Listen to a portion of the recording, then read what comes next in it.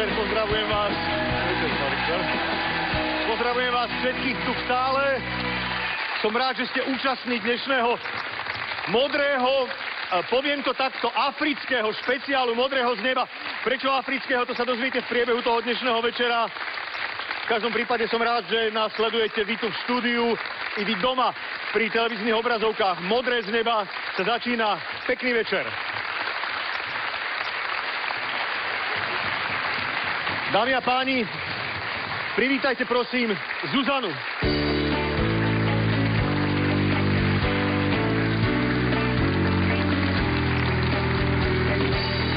Ahoj. Čau.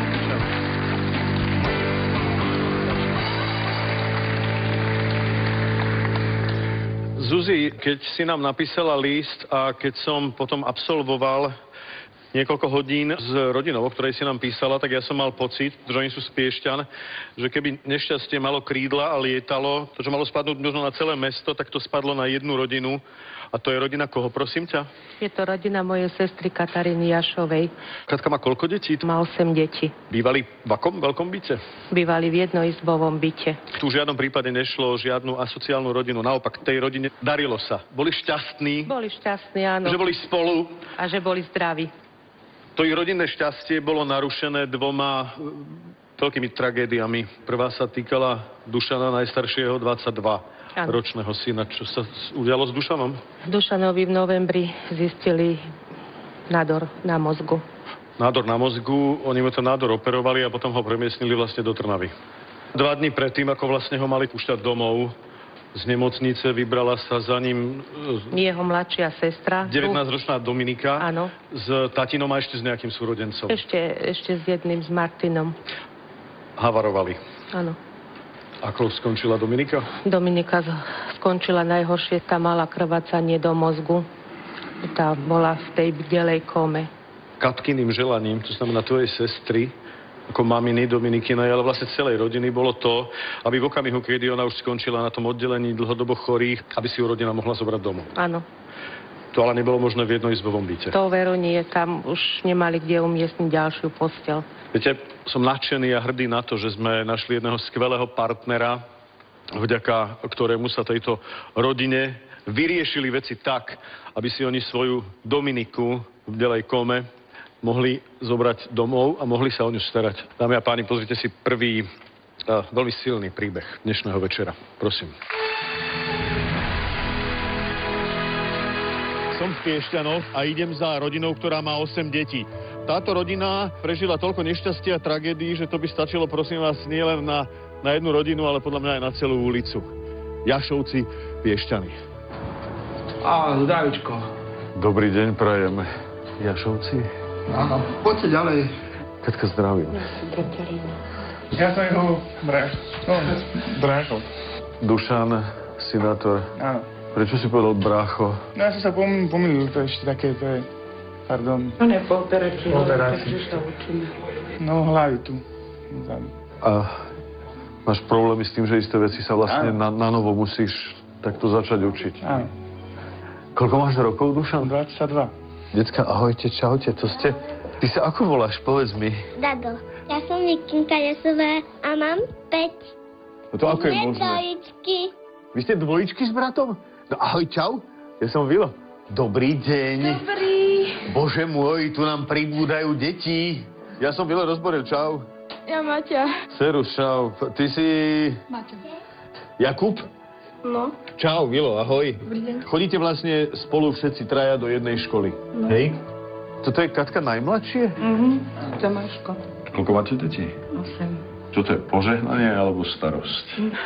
Ešte kým boli zdravé, bola radosť, teraz sú už aj starosti. Najmä Dušana, hlavne Dominky. Nemáš ruku e, poranenú, to súvisí s tou autonehodou. Auto nehodol. Oni išli za tebou vlastne. Áno, do? Trnavy, do Trnavy. Ty si sa o tej nehode dozvedel z televízie, zo správ? No,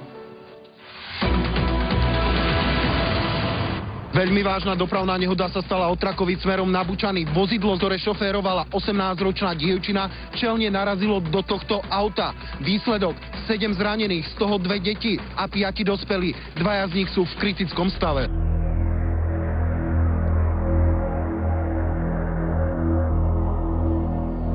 Sme išli a padal sneh. A zrazu ja si len pamätám, jak domča hovorila, že tatino, prosím ťa, pomôž mi. A ja si ďalej už nepamätám. Asi ja akurát pamätám, že som už behal okolo sanitiek a hľadal som Dominiku a Mateja. Svet sa otočil. Tak, tak. Dominika mala krvácanie do mozgu a do plúc. Mala zaliatu tretiu a štvrtú mozgovú komoru. Život pred sebou ešte ani nezačala žiť. Ale ty si nemal nejaké ťažké e, skoro zranenia? nič nestalo. Že kvôli mne. A dva dní to bolo. Čo si mali z domov? Dva dní. Teba operovali v Bratislave. Áno. A tam prišli na to, že je tam nádor. Áno. A ten nádor bol aký veľký? 7, 7. 5. Tu v hlave to bolo. Takto rečové centrum mu to zasiahlo. Čítanie, rozprávanie. Tak zo začiatku nás ani nepoznal, kto je kto. Ale už teraz sa lepšie. Také smutné je to, čo som pochopil, že vlastne Dušan bol v nemocnici a oni cestou k nemu vlastne havarovali. Prečo sa to stále s nám robí? Že už toho je dosť.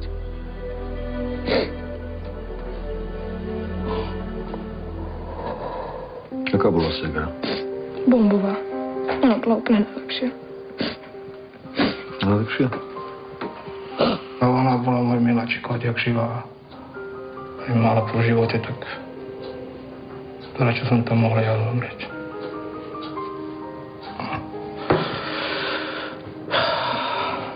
Skončila učňovku, začala na maturitu. Kadernička šikovná chodila po súťažach. Povyhrávala.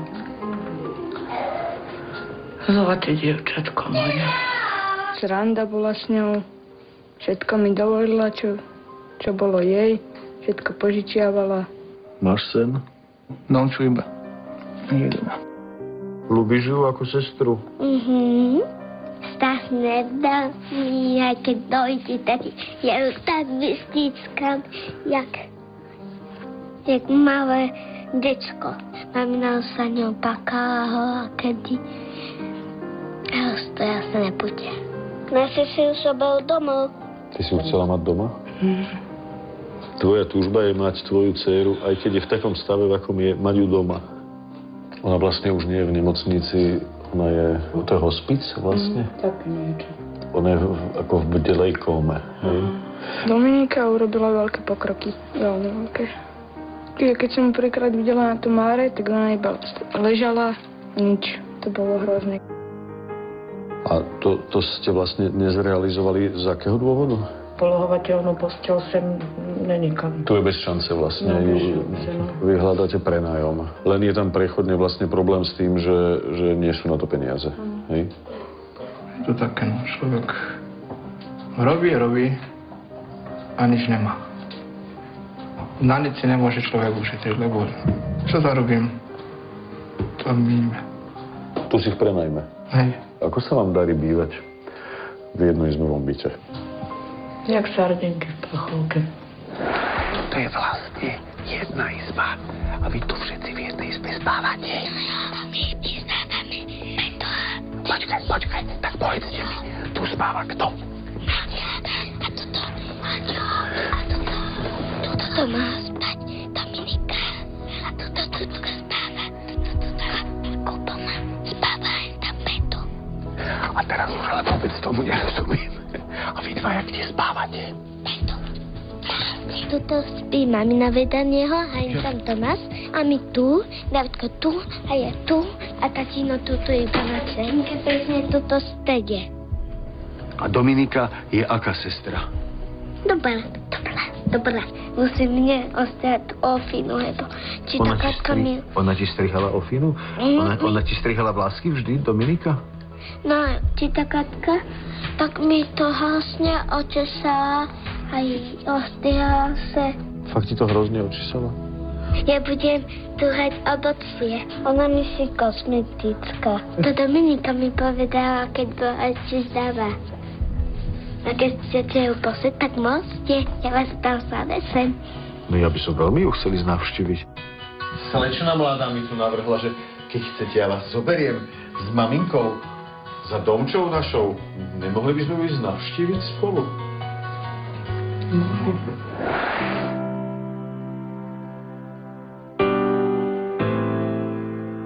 Dominika?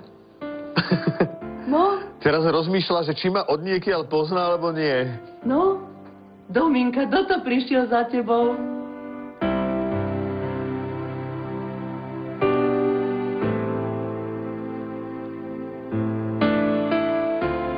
Ale ja som veľmi milo prekvapený, lebo ja som si myslel, že teda vlastne to diev, dievča, ktoré je vlastne úplne nereagujúce na vnemy a podnety, ale No, vlastne... takže William, vidíš, že robíme do pokroky, že domča. Pravda, povedz im to. No Dominika bola vo veľmi vážnom stave. Keď sme ju dostali, tak ona nereagovala. Bola tam zavedená žalúdočná sonda, ale je to mladý organizmus a máme veľké úspechy. Že aj ten úsmev, že už niečo, jak keby chcela povedať. Už sa obzera, predtým to nebolo. Ona vníma. Takže to je ozaj... A zázrak je, že takto ona postupuje. To je úžasné niečo. Je to také zvláštne stretnutie pre mňa, lebo toto dievča nám v oktobri písalo o svojej rodine. Ako, ako ich vnímate ako rodinu za ten čas, čo tu chodia? úžasné ľudia sú to.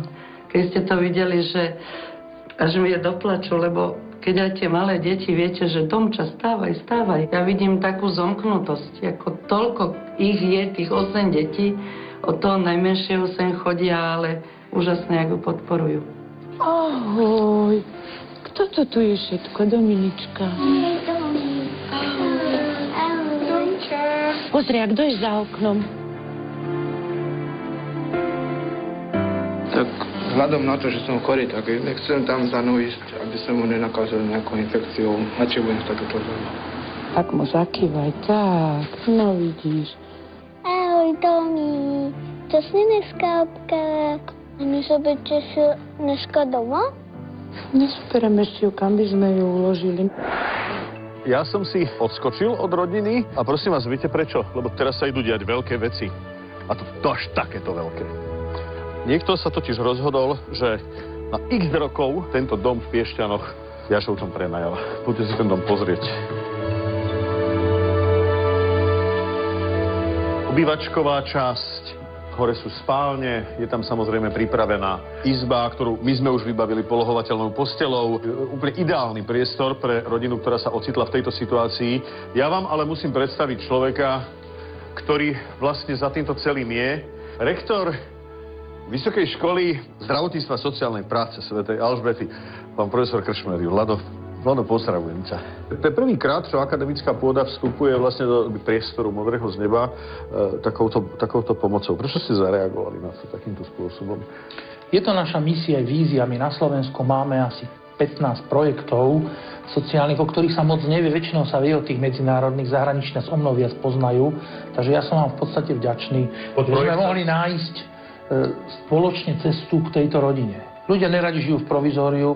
My sme to videli v Sudáne a v Kenii, že tam žije 100 milión ľudí v provizóriu. Nechceme, aby na Slovensku boli ľudia v provizóriu. Takže to je, to je úplne prirodzené, že ten nájom na tento rok, a keď treba ďalší a ďalší a ďalší, sa my postaráme na škole. Veľmi ti ďakujem a by som im teda predstavil teba a povedz im to ty, pretože Ale nebudem ja sa som není moc tiež tak non sum digmus, tak ako ty hovoríš, ja hovorím, že nie som hoden, ale menej všetkých našich zamestnancov to môžeme tak nejako spoločne urobiť. Čo to tu vonia inak, prosím ťa? Pripravil som pre nich troška takú vôňu tej jednoduchej africkej kuchyne. Matoke, čiže keňský guláš. A urobili sme ňama čoma. To je udené kura na mandarinkách a na mangu. Na privítanie, aby sa oni tak ako dobre cítili, keď vlastne vstúpia do príbytku, ktorý by mali niekoľko rokov užívať. Normálne sa mi aj slinky, slinky začali zbiehať. Uh, dobre, tak ja idem pre nich, hej? Super, Dobre, čakám.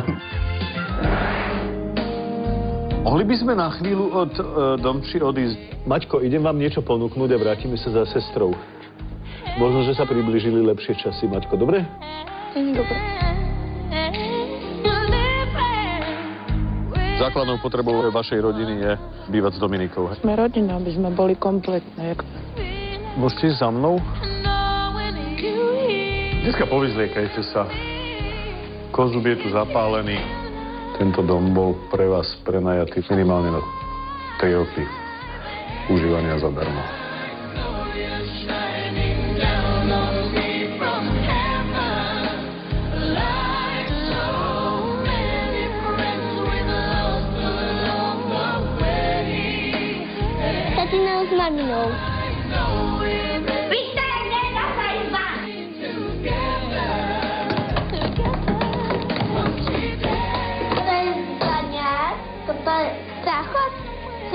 Si umýva do...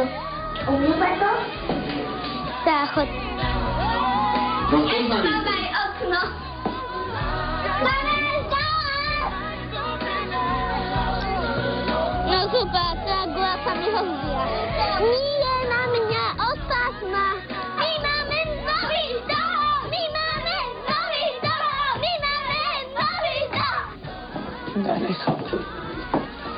Nechápeš? A môžeme ešte niečo? Toto by vlastne mohol byť priestor pre Dominiku, pre to najdôležitejšie, o čo vám išlo.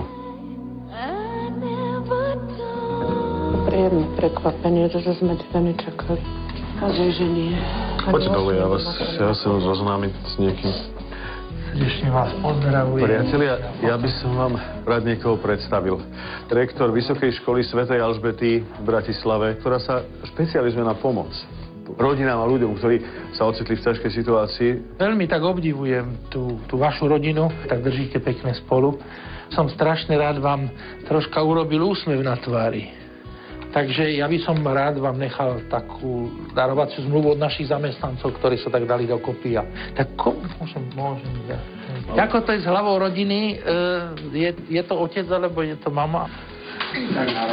Tak nechám to, tu je taká, akože, taká koalícia pekná. Toto je zmluva, ktorá nie je len o prenajme tohto bytu, ale toto je zmluva o priateľstve. Vlado povedal, my, my si chceme zobrať takú, taký patronát nad, nad rodinou. A to je veľmi vzácna vec.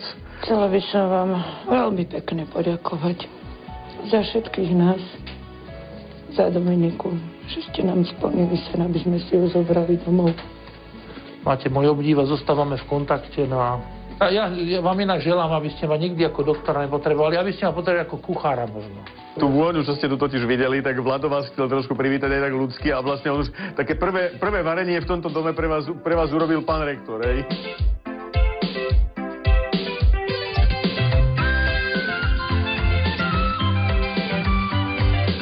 Ahojte. Ďakujeme. Ďakujeme. Spokojný? Cítite sa, že by sa tu dobre bývalo? Stále ale chýba jeden človek do zostavy, že? Chcem sa vás teraz teda spýtať, keďže ste videli všetko je pripravené, chcete, aby tu Dominika už dnes spala s vami? No, kto je za dvine ruku? Tak potom vám musím povedať, že poďme pre ňu. Juhu,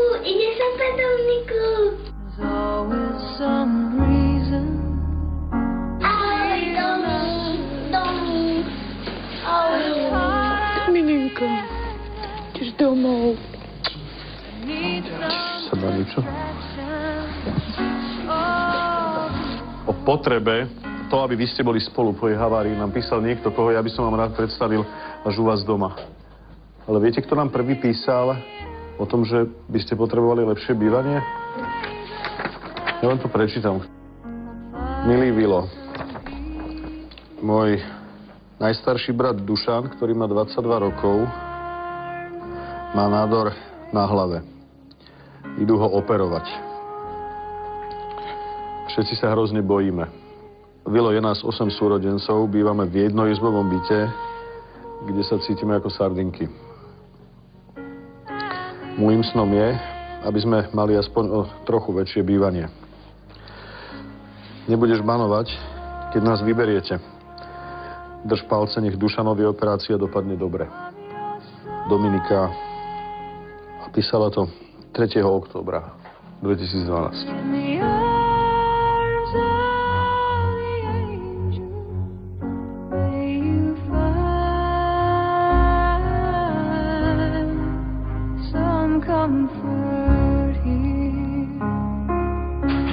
Vítaj Dominka doma. Vítaj Dominka doma.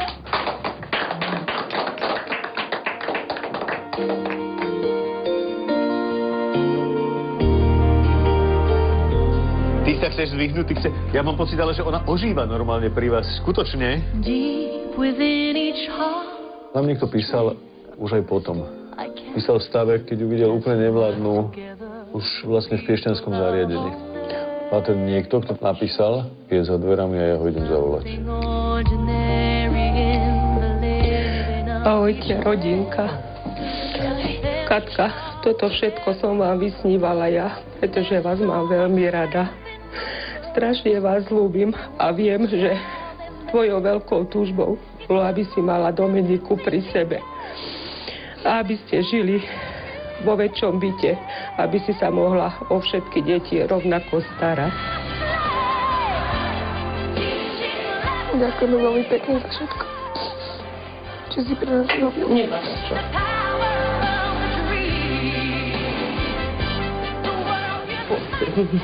Moja druhá Dominika. A opatruj, pomáhaj mamičke, áno? Zuzička moja, toto mi tak pomohlo, jak... Strašne. Dúfam, že všetko zle už vyjde a už bude len dobrá Dominička sa nám prebere. Ďakujeme veľmi pekne.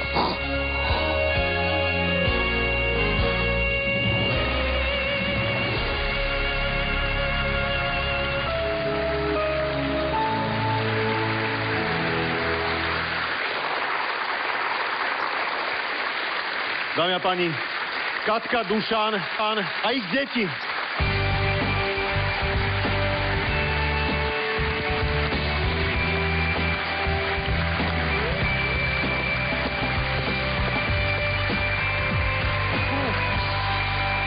Katka, ahoj, čau. Sem. Ahoj. Ahoj. Dušan, zdravím ťa. Dneska, čau. Poďte si sadnúť, nech sa páči.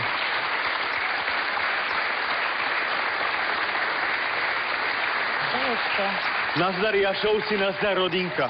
Ale ja som sa veľmi tešil na stretnutie s vami, pretože vy ste veľká rodina nielen počtom, ale aj tou úžasnou súdržnosťou. Prosím vás, pýtať sa, ako sa býva, to je asi zbytočné. Býva sa dobre? Ako máte rozdelené spanie v izbách? Povedz mi, kto s kým spí? No, tatko spí s mamou, že? Nie. Tato nespí s mamou? o, to je prekvapivé. Tatino uh, s Dominkou spí Aha. A my s maminou a s Malcinkou spíme. My sme spávali s Dudom. Maťo, ako sa darí Dominike? Ako fungujete? Ako, ako prebieha vlastne ten každodenný život? Rozhýbala sa trošku? Čo sa s ňou deje? Hovor. Ona si začala sama sadať. To nemyslíš Začala- vážne? Začala nám už aj potichu rozprávať. Dominika sa, mama Dominika sa vážne rozrozprávala? Šepoti. Komunikuje cez Facebook. Vaša dcera začala komunikovať cez Facebook. Cez Facebook si píše s priateľom, s kamarátmi. To znamená, že to domáce prostredie naozaj e, pôsobí takým blahodárnym účinkom, že No tie dva týždne, dva a pol týždňa, čo, to, čo bývame spolu, No. to je neuveriteľný pokrok, čo ona spravila. povedzme, rozpráva naozaj začala, povedzme, pozná súrodencov, začala ich po, e, volať podľa mien. Maťa, neviem, ty mi povedz. Rozpráva, no.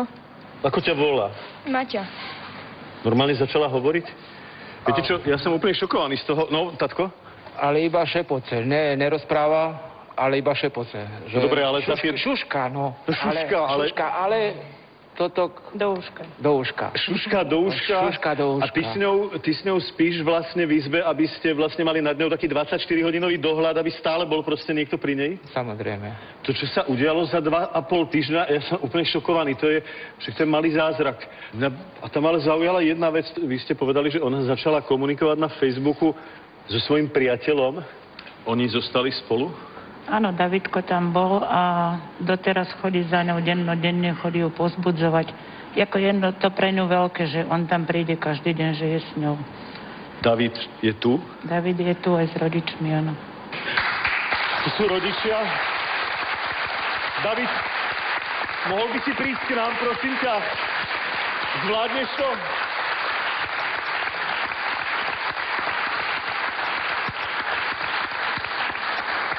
Prepač, ja som nevedel, v akom si zdravotnom stave.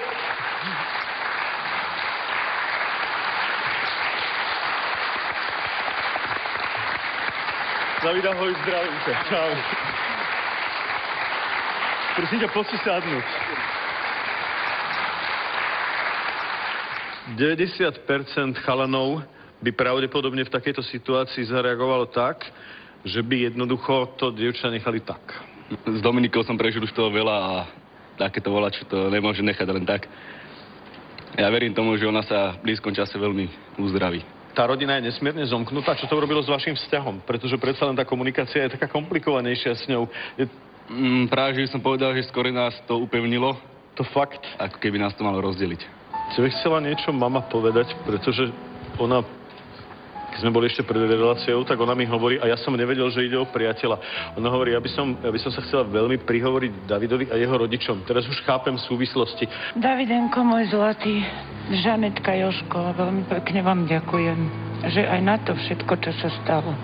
Fakt nás to zop, zop, zomklo spolu a chcela by som vám veľmi pekne poďakovať za to, že pri nás stojíte, stáli ste, ste zlatí ľudia, ďakujem vám.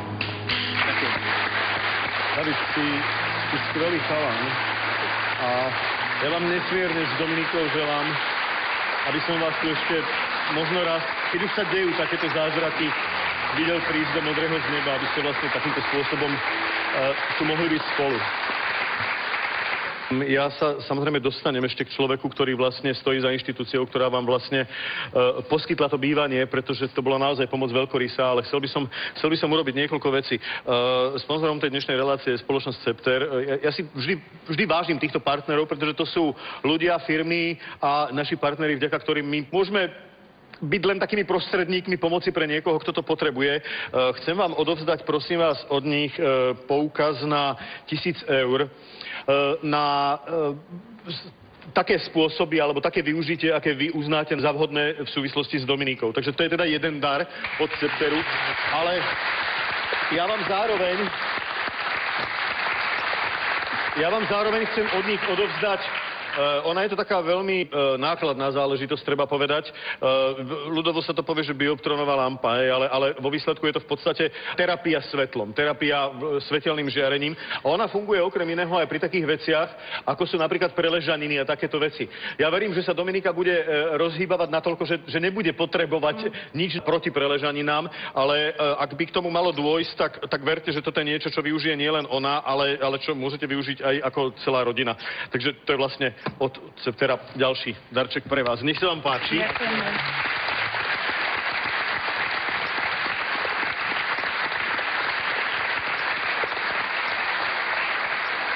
Ale ja, ja, ja chcem ešte jednu vec urobiť, pretože uh, takto. Uh, tablet pre vašu domču, aby to písanie s Davidom mohlo byť také intenzívnejšie a lepšie, aby, aby proste z tej postielky si to mohla ľahšie ovládať, ako proste cez nejaký notebook, ktorý je možno ešte veľký a, a zbytočne ťažký pre ňu. Môžem to urobiť tak, že by som, teda vlastne ho neodovzdám rodine, ty asi teda však za ňou určite chodíš a pôjdeš. Môžem ho odovzdať tebe a že ho daruješ ty. Takže to je teda pre Dominiku.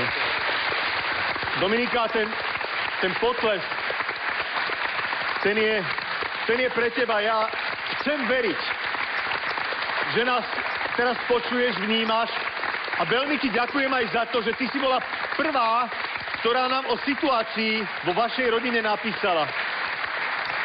Domča, tak to bolo pre teba. A ešte vám chcem povedať, pretože, viete, v živote sa dejú rôzne nešťastia, ale ja mám pocit, že tých nešťastí na vašu početnú rodinu padlo veľa a ona to zaregistrovala aj nadácia televízie Markíza, od ktorej prosím príjmite teda tiež dar e, 2000 eur. Ďakujem veľmi pekne nadácii televízie, ktorej som súčasťou a musím povedať takou hrdou súčasťou. Ďakujem veľmi pekne nadácii Markíza. Ďakujem, Zuzka. Ďakujem, ďakujem ti. Ja by som už teraz rád privítal človeka, ktorý sa takým gigantickým spôsobom pričinil vlastne o tú pomoc a to bolo darovanie dlhodobého bývania pre vás pána rektora Vysokej školy Sv. Alžbety, pána profesora Krčmeryho. Vládko, môžem ťa poprosiť?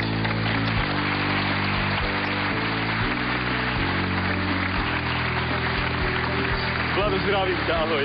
Vladko, nech sa páči, sadni si. Ja sa ťa chcem v prvom rade jednu vec spýtať. Prosím ťa, ty si, ty, samozrejme okrem toho, že si rektor a že si teda akademický funkcionár, uh, ty si aj lekár. Uh, prosím ťa, ako si vysvetľuješ to, že dievča, ktoré bolo teda v bdelej kóme, alebo pred 2,5 týždňom, podotýkam, však si to pamätáš, to, vtedy sme to nakrúcali, bolo v takom stave, v akom bolo a dnes rodičia referujú takto. To je medicínsky čo? Vysvetliteľné, či to je zázrak, či čo to je? Tak e, je to malý zázrak, ale e, mali by sme mať oči otvorené pre takéto zázraky, pretože strojcom tohto zázraku, okrem teda požehnania Všemohúceho, je tá rodina. A to, že si zobrali e, princeznú k sebe domov a že sa maminka o ňu stará a že sa s ňou komunikuje jej láska a ďalšie lásky a ocino, my to voláme pozitívna psychosociálna stimulácia. Pekne po slovensky sa to povie láska. Svetý Láslo Štratman Baťáni, ktorý založil nemocnicu v Kice, povedal, naše bohatstvo sú naši chorí a naše deti. Oni to tak krásne táto rodina ukázala v praxi, že ich bohatstvo sú ich deti a ich chorí. Vieš, ale... Ja sa ti... Ja sa ti ale chcem tebe ako teraz už teda predstaviteľovi vy, vysokej školy, lebo vlastne nebol to teda tvoj osobný dar, ale bol to vlastne dar a príspevok celej Vysokej školy Sv. Alžbety. Veľmi poďakovať za to, pretože vy ste do toho vstupovali ako do partnerstva. Ty si povedal, že tam nejde len o to, že, že, že povedzme uhradíme bývanie na toľko, koľko bude potrebné, ale že my budeme radi e, nápomocní aj ďalšej pomoci. E, ste teda pripravení vlastne pomáhať tejto rodine naďalej, to znamená nebyť len takým tým finančným e, donorom alebo proste sponzorom, ale, ale na, naozaj mať nad nimi patrona. Tam možno budú potrebné fyzioterapie, ďalšie veci. Dá sa uvažovať aj o tejto forme pomoci pre rodinu? Tak my sme vďační e, tvojmu týmu, že e, ste nás oznámili, pretože nás to veľmi obohacuje. My máme asi 10 projektov na Slovensku, ktorých sa je podstatne menej ako tých zahraničných a e, myslím si, že e, naši zamestnanci sú tí, ktorí si zaslúžia poďakovanie, tak ako si spomenul. Máme nadáciu Svetej Alžbety, kde v podstate ja som len taký prostredník, ja som len ten, ktorý, e, ako sa hovorí, že svieti a kúri. My budeme radi, keď, keďže v Piešťanoch máme detašované pracovisko Patra Pia našej vysokej školy, keď e, možno sa stretneme s týmito krásnymi deťmi aj na pôde našej školy. My budeme radi, keď e, budú mať zdravotné problémy, aby sa na toto pracovisko a na nás hmm obrátili. Máme z tých 400 zamestnancov je 250 lekárov, čo máme na vysokej škole. Samozrejme, že im želám, aby nás nikdy nepotrebovali a želám im, aby sme sa stretávali pri takýchto pekných príležitostiach. Veľmi ich obdivujem, veľmi nás to obohacuje. My sme po takomto stretnutí mimoriadne bohatí a mimoriadne šťastní, pretože na tejto rodine sa plní takéto tajomstvo.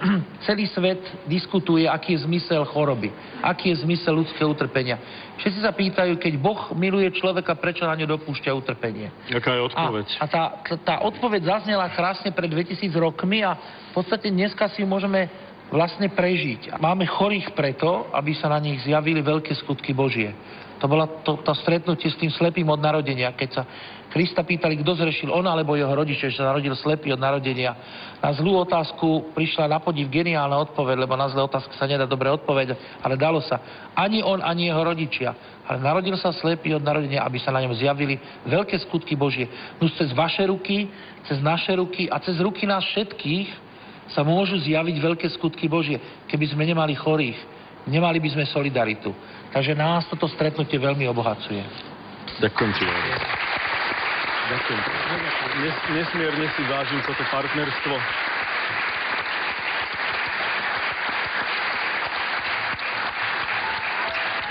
Si mama tejto veľkej rodiny a to posledné slovo teda nechám tebe. Pán Karčmery, vy ste z polovice nášho šťastia s trojcom, jak ste to pred chvíľkou povedal. A my, celá rodina, vám za to ďakujeme, že nám stavate našu dceru na nohy. Dávate jej druhú šancu do života a, a veľmi vám pekne za to ďakujem. Ďakujem vám. Ďakujem za týchto skvelých ľudí. Nás to veľmi povzbudilo. To bola rodina Katky a Dušana a ich mnoho detí.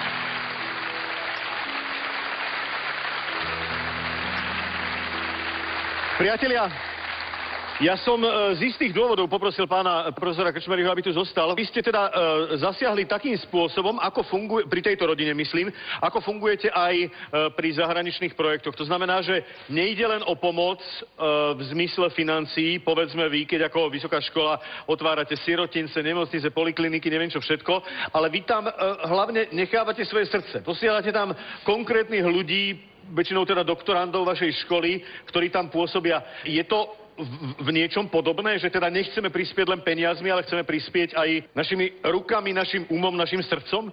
Misia e, našej školy a vízia, každá vysoká škola musí mať nejakú víziu a misiu, pretože inak je duplicitou. E, takže naša vízia a misia je, sú naši chorí a naše deti. Čiže tá cieľová skupina sú tam, najmä kde sú deti z AIDS, deti s tuberkulózou, deti s maláriou a druhá taká tá cieľová skupina sú chorí. Takže ja som šťastný, že mám tým, mám kolektív e, vyše 100 lekárov a 300 sociálnych pracovníkov, ktorí sú ochotní ísť do 25 krajín, v podstate teraz 25 krajín. A, do roka prv sme to teraz počítali ako priatelia matematiky e, ročne, ako pán Boh nás požehnáva tým, že cez naše ruky umožní prejsť tým 150-200 tisíc pacientom každý rok. Ja som o tejto zahraničnej pomoci začal hovoriť preto, pretože pred pár týždňami sme práve na pozvanie našich teda priateľov zo Sv. Alžbety absolvovali cestu ako modré z neba do rovníkovej Afriky, do Kene a do Tanzánie. Navštívili sme tie najchudobnejšie kúty Zemegule. Navštívili sme kúty, kde je možno najväčší výskyt AIDS na Zemeguli.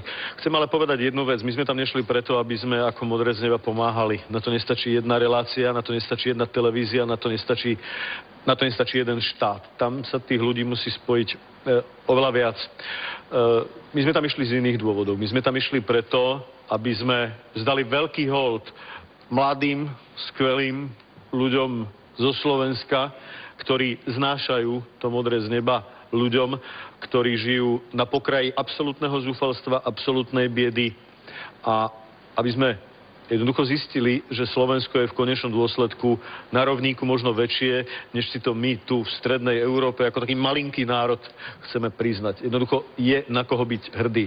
Dámy a páni, eh, pozrite si putovanie modrého z neba po chudobných častiach zeme. Pozrite si putovanie modrého z neba po rovníkovej Afrike. Prosím.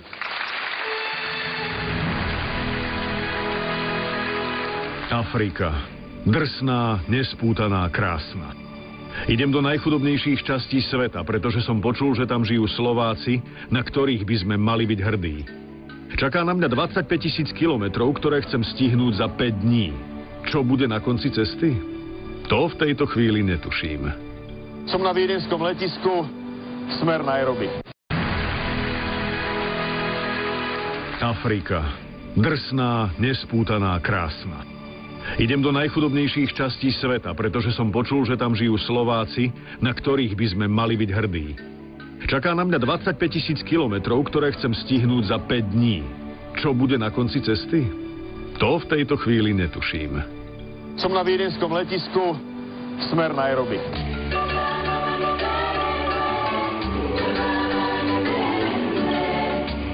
Po 12 hodinách prichádzam na misiu, odkiaľ sa koordinujú všetky africké projekty pomoci. Tam na mňa čaká vzácny človek, ktorý za tým všetkým stojí.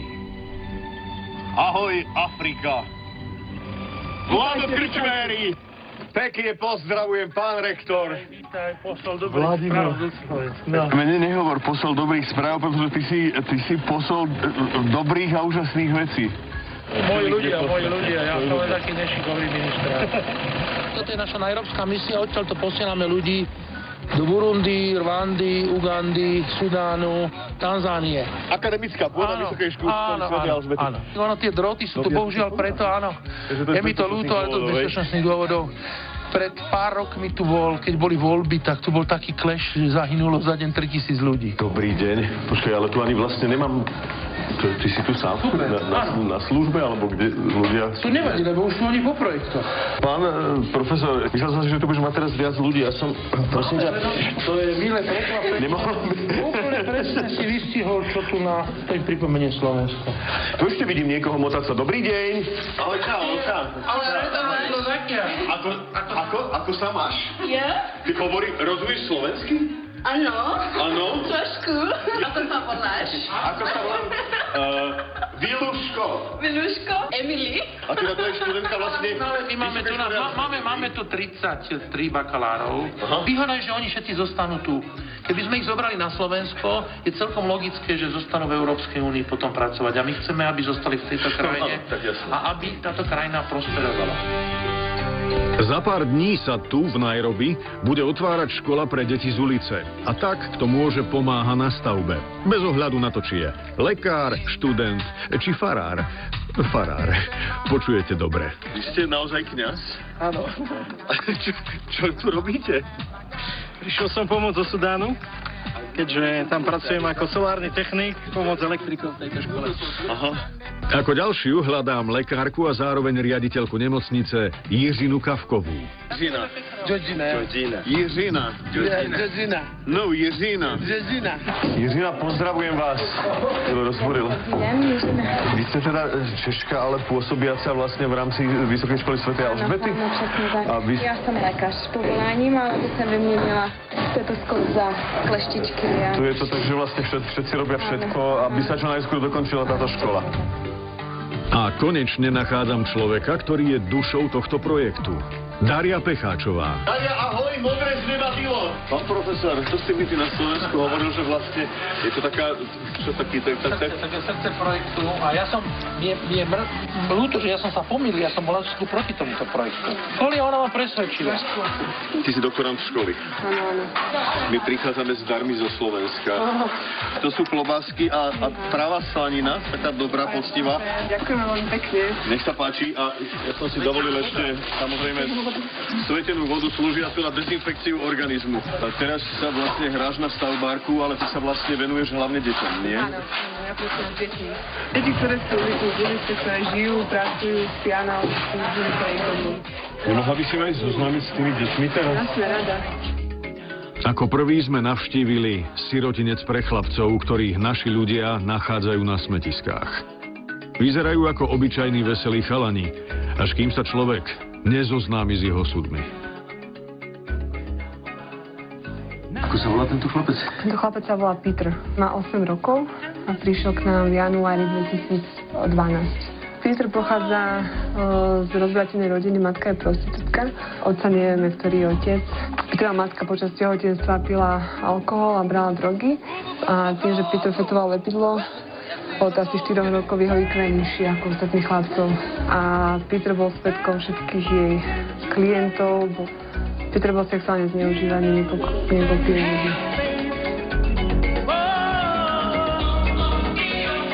To keď k nám prišiel, nevedel spávať dlho na posteli, lebo vždy spal iba na zemi. Tak aj keď sme mu dali postel, tak vždy spával pod postelou.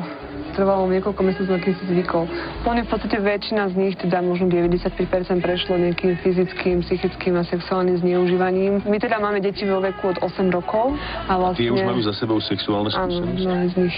Uh, u chlapcov, ktorí sú, ktoré, u ktorých je vyššie percento sexuálneho zneužívania, uh, je to v podstate ty chlapec, chlapec, takže v podstate sú znásilňovaní staršími chlapcami, uh, policajtami, uh, bezdomovcami, proste ktokoľvek. Chlapci prichádzajú s väčšími traumami ako dievčatá.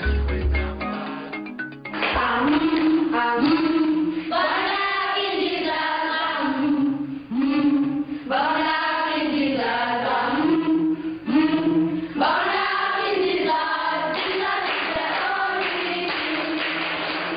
pracujem s deťmi, ktoré sú deti ulice. Sa dostali na ulicu? Ale Rodina tam vždy je. Eh, Tí rodičia sú v podstate buď eh, alkoholici, prost, matky sú teda prostitútky, alebo sú to rodičia, ktorí majú 8-9 detí. A vlastne to platí, že eh, keď to dieťa už je ako tak schopné samo o seba postarať, tak v podstate musí odísť a prenechať to miesto ďalšiemu. V koľkých rokoch sa na ulicu dostali? Uh, závisí od 4 rokov, od 5, od 7. Jak prežiješ tvoročné dieťa na ulici? Oni samozrejme nie sú sami, úplne sami. Sú také gangové skupiny, takže v podstate tí menší dostávajú tú ochranu od tých väčších.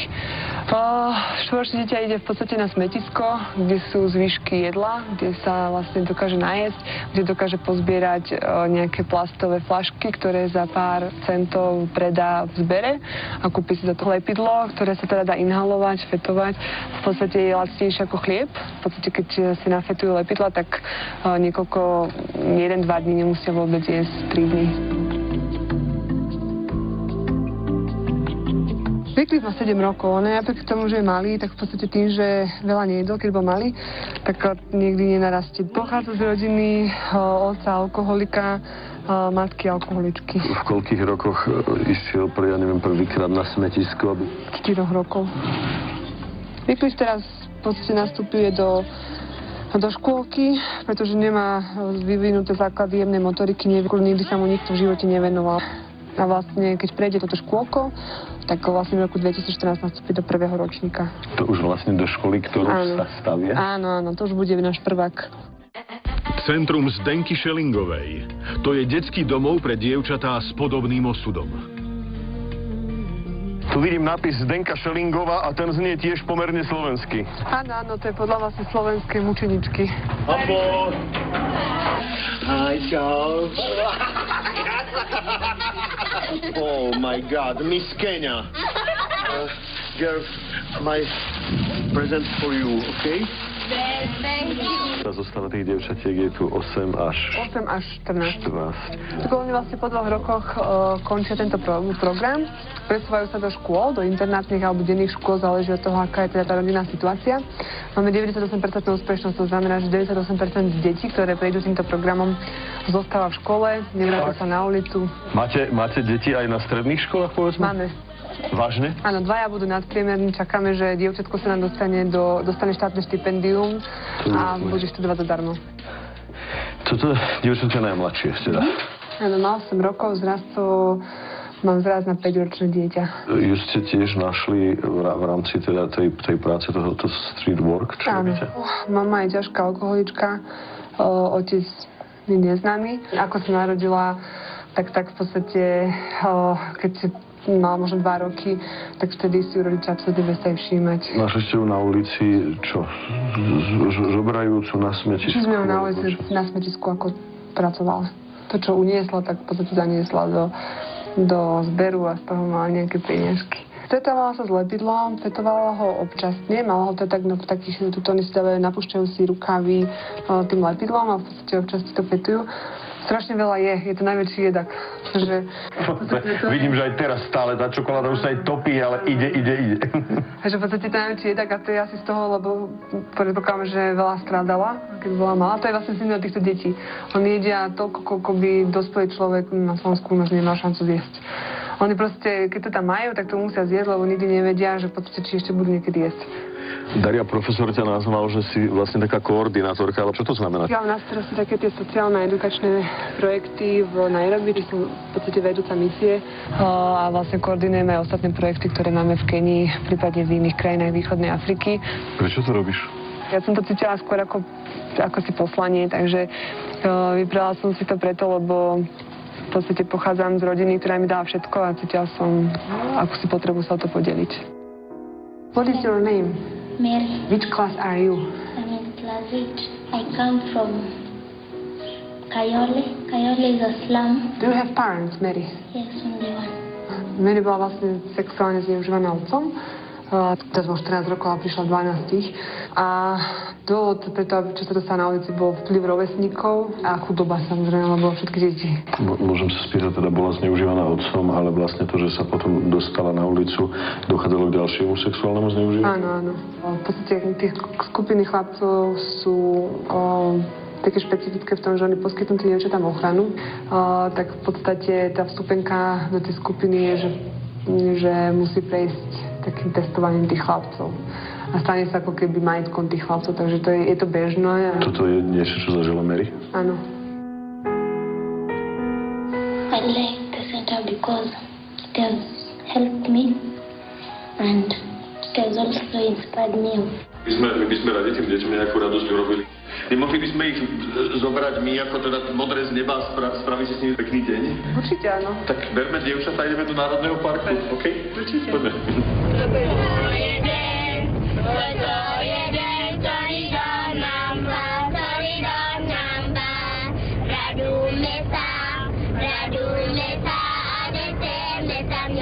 Rozprávali sme sa o osude dvoch detí, ale dá sa povedať, že z týchto dievčatiek tie osudy sú takmer totožné? Áno, takmer identické. Antelope. Uh, lion. Simba. Simba. Monkey. Mamba. Mamba. Toto je trošku výzva, pretože vraj sa vie celkom slušne rozbehnúť po človeku nosorožec. Chalani, nebojte, však tu počkajte! Chalani! Však sa len odfotiť chcem s vami! Počkaj!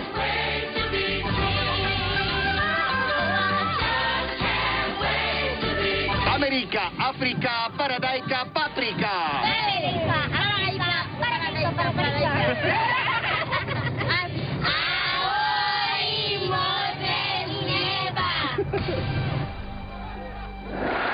Okrem sirotincov pomáha škola svätej Alžbety aj chorým. Tu v Nairobi som navštívil kliniku San Rafael, ktorej riaditeľku Georginu Kavkovú sme stretli na stavbe, ale to si istotne pamätáte. Jiřina z Prahy je, je súčasťou projektu Vysokej školy zdravotníctva a sociálnej práce Sv. Alžbety, to znamená e, projektu, ktorý, ktorý vlastne má akoby korene na Slovensku. Prečo si sa rozhodla pre slovenský projekt, nepovedzme pre nejaký český? Česká republika nemá zdaleka tolik projektů takového rázu, jako má Slovensko. Koľko si tu v Nairobi? V Nairobi jsem dva roky. Koľko pacientov máš e, ročne? Za minulý rok jsme ošetřili 17 tisíc pacientů. Ako naše dagání, mami? Oma. Oma. A na koho aký kouří, mami? Ký kouří Iko? Iko dámy? Hakuna? A na béba má čašile? Kaniny. Mne bolo povedané, že to je jedna z najlepších e, kliník v Nairobi. To říká náš pan profesor a myslím oprávněně, že, že má pravdu, že, že skutečně poskytujeme vysoce kvalitní péči. Je s čím porovnávať? Tu vôbec existujú štátne nemocnice? Ano, existují tu státní nemocnice, e, státní polikliniky v podstatě taky, s tím, že e, ta úroveň je, je dá se říct, mizerná. Takže je to jasné. Misionárske nemocnice suplujú to, čo by mal robiť štát. Nepripadá vám to trochu podobné s tým, čo občas robíme v modrom z neba u nás doma? Ale vráťme sa radšej na stavbu, kde ako posol dobrých správ mám ešte jedno prekvapenie pre Dariu. Aký máš vzťah s rodinou? Veľmi, veľmi blízke, veľmi, veľmi silný. Koľko tu ešte mieniš byť? Pokiaľ bude zatiaľ treba, tak tu ešte zostanem. Niečo máme pre teba. Tak ahoj Darka, možno, že si prekvapená žena, ktorá takto tu navidíš. Nebola si tu cez Vianoce, sa to už druhé Vianoce, veľmi nám chýbaš. Si naše slniečko, to ti hovoríme stále, chýbaš nám a zvlášť cez Vianoce. Som strašne chýbala. Máme tu aj Majlu. V stredu sme farbili dvere, tie dvere už mali byť suché, ale neboli. A Majla sa nám tento také krásne vyfarbila, pozri sa. Chcem ti touto cestou aspoň povedať, že vždy, vždy budeme pri tebe stať a prajem ti, aby si stretala len všetko milých ľudí, aby si sa mala na koho spolahnúť a aby si sa ešte tu navracala rada, tu na do toho svojho domova. Ľúbime ťa, Darika. Ahoj. Ajuša ti ešte posiela takúto velikánsku pusu. Ahoj, ahoj. Ahoj. Ahoj. Ahoj. Ahoj. A chce nám to dávať na seba pozor, prosím. Ďakujem veľmi pekne. Ja vám ďakujem za všetko. Bez vás by som to určite nezvládla a mám vás najradšej na svete a teším sa na vás a, a ďakujem, že ste. Škola sa má vlastne teda otvárať v pondelok. E, my máme teda zo pár dní. Bolo by možno vidieť ešte ďalšie misie? Môžeme využiť tieto dni, že by sme no. pozreli Eldoret, možno Rongai e, v Tanzánii, na brehu Viktorina jazera Kibaru. Myslím, že tu je okolo 10 projektov, čo má vysoká škola, takže budeme mať čo robiť. Mária je hlavný logista, nielen šofér, ale hlavne teológ a budeme v dobrých rukách, myslím. Ty si ale skončil teológiu? Laickú. Takže nie si kňaz, nie si vysvetený. Vyrážame? Vyrážame. Dnes ešte uvidíte. Rodičia zomreli na AIDS. Hej. Kvôli tomuto malému ste mali bezcennú noc teraz, hej? A ešte kvôli jednému, no. Tento bohužiaľ neprežil. 10-ročný a má 10 kg. A práve sme došli. Došli, ale o chvíľu sme späť.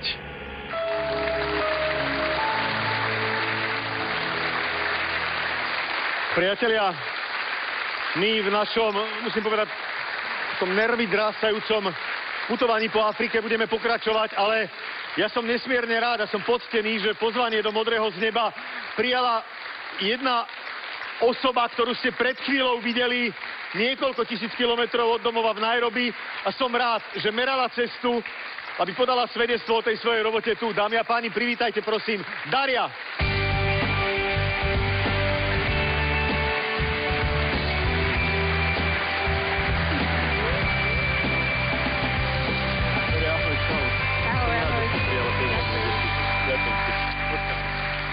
Nech sa páči.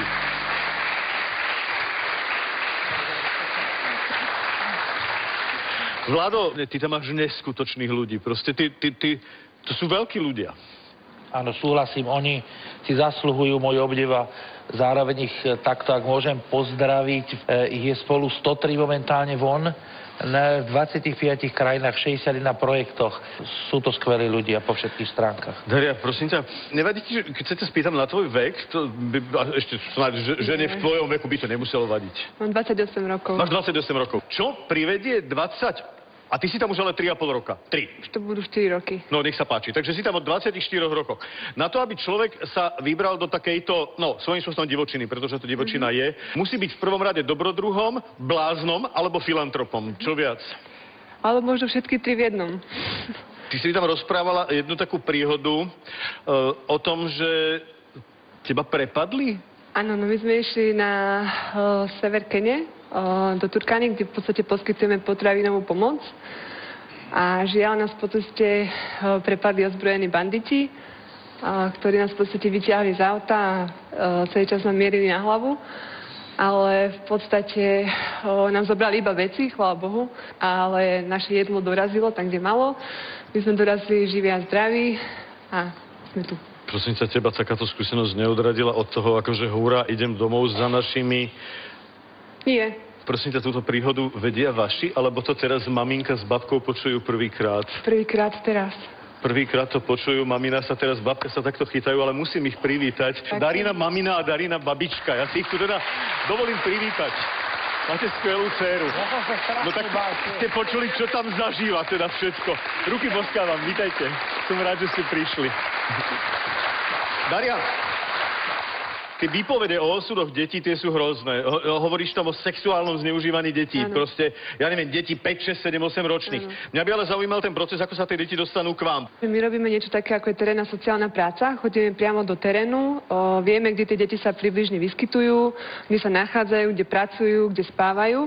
A v podstate, keď tie deti sú rozhodnuté preto, aby sme ich prijali, samozrejme my splňame všetky také tie legálne veci, ako zoberieme deti uh, na policiu, policia uh-huh. nám dá papier, potom ideme za nejakou rodinou, musíme vždy mať nejakého rodinného príslušníka, ktorý samozrejme podpíše, že nám vlastne tie deti zveruje a ďalej sa teraz za tie deti staráme my. No a, a teraz ako prebieha ten proces takej adaptácie toho dieťaťa? Pretože to dieťa žije v tých slamoch a tie deti tam žijú naozaj ako zvieratka. Ono je to euforia prvej minúty zo začiatku, že teda e, super sú tam postele, e, super je tam jedlo, ale potom príde taký problém, ako na tých postelách spať, keď ja na nich spať neviem. E, potom ako v ráno vstávať, keď ja vstávam, kedy chcem. Takže samozrejme zo začiatku to je také, že tá euforia trvá v niekoľko dní, potom príde taká tá realita. To znamená, že tie deti, ktoré mali celý život nejakú slobodu, zrazu majú nejaké pravidlá, Takže zo začiatku sa stretávame s takým aj s takým recidivizmom, teda v, to, v podstate, Mm. že tie deti odmietajú tie pravidlá, niektoré z nich utečú, samozrejme sa vrátia. A to je vlastne to, čo my ich učíme. Asi najviac, ja, ja som to aj videl na ľuďoch, zarezonovali tie, tie zlé sexuálne skúsenosti. Mhm. Mm-hmm. Oni nie sú z toho, prepáč, že to tak poviem, ale ako mešuge? Veď to je strašné. Prepáč, vieš, Áno, ale jasne. vieš, čo myslím? Jasné. No, oni majú kopec problémov, keď k nám prídu. O, Samozrejme, že sa pocikávajú v noci, samozrejme, že sú plačlivé, samozrejme, že majú kopec otázok, niektorí z nich sú naopak práve že veľmi, veľmi v sebe uzavretí. Ale nedá sa to porovnať podľa mňa s našimi deťmi. Tieto deti sú silné, to znamená, že keď ste celý život vyrastali v, v krajine, kde v podstate nikdy ste nič nemali, uh, boli ste viac bytí ako city, uh, tak si človek, uh, musím to takto povedať, možno zvykne aj na toto. Môžem sa ťa spýtať jednu vec. Aký vzťah máš k tým deťom? Čo, čo tie deti pre teba sú? Pretože toto, mne sa zdá, že toto už ďaleko, ďaleko presahuje rámec sociálnej práce, tak ako ju vnímame my na Slovensku. Ja s tými s deťmi mám veľmi pekný vzťah, ja tam trávim svoje víkendy a ja tam strávim všetok svoj voľný čas, ak môžem. Daria, robíte neskutočnú vec. E, Ja, ja, ja som hrdý, že, že ťa poznal, ale tu existuje aj istá možnosť a, a to je možno vlastne taká, taká tá hlavná, hlavná misia, misia Darinej návštevy v štúdiu. Tu existuje aj istá veľmi konkrétna možnosť vlastne pomoci pre tieto deti a to sú adopcie. Najlepšie je ísť na web stránku uh, Dobroty Svetej Alžbety. Tam si môžete nájsť, uh, aké dieťa, aké deti sú voľné. To znamená vyslovene si vybrať konkrétne dieťa. Áno, že keď si to dieťa vyberete, uh, tak vlastne napíšete taký ten formulár, uh, že máte teda o to dieťa záujem a teda by ste uh, chceli platiť školné napríklad a teda byť takým jeho kamarátom. Naše deti, 90% z nich musí navštevovať samozrejme internátne školy, pretože tí rodičia tam nie sú. Nie je tam teda nikto, kto by mu mohol zabezpečovať, uh, ja neviem, nejaké tie životné podmienky doma. To znamená, že ak sa rozhodnem a ak mám na to, tak povedzme, ja neviem, euro kúsoček denne a preto dieťa v Afrike, to znamená, že vďaka tomu môjmu euričku denne to dieťa získava vzdelanie a získava vstupenku do normálneho života. Toto predstavuje tá adopcia. Áno. Uh, priatelia, toto nie je možno výzva pre tých, ktorí sú v tomto takom biednejšom stave. Určite nie. Ale napriek tomu euro denne pre dieťa, ktoré žije v pekle, tak uh, vy, ktorí by ste sa k tomu chceli pridať, tak to teda buď cez tú stránku, o ktorej hovorila Daria, alebo zároveň využite našu facebookovskú stránku Modrého z neba, pretože v tejto chvíli ja tam už zavesím vlastne všetky tie kontakty, akým spôsobom sa dostať na tieto deti, e, všetky fotky a všetky tieto veci v koordinácii teda s dobrotou Sv. Alžbety a budem hrozne rád, ak, ak sa nás tam spojí viac. Daria, držím ti veľmi palce a som rád, že, že môžem práve cez teba dať nejak najavo ľuďom na Slovensku, že e, dá sa fungovať veľmi zmysluplne aj niekde inde, než len doma. A ešte raz, e, ak využijete tento, tento proces e, akejsi adopcie detí na diálku, tak samozrejme budeme šťastní. Daria, ďakujem ti moc. Ja budem veľmi rád, keď ale zostaneš ešte v štúdiu, pretože priatelia, to je pre Dariu.